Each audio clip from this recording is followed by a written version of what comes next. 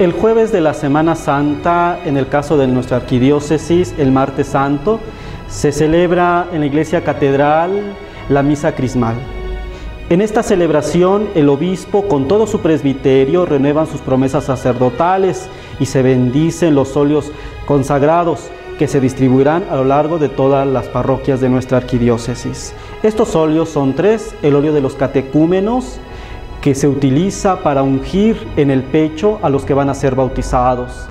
el santo crisma con el cual se ungen los confirmados, las personas bautizadas, los sacerdotes y los obispos. Y tiene una característica, que el santo crisma contiene especies aromáticas. Por último, el óleo de los enfermos, con el cual los sacerdotes ungen a las personas que se encuentran bajo alguna enfermedad, que se van a someter a alguna cirugía o que se encuentran en peligro de muerte.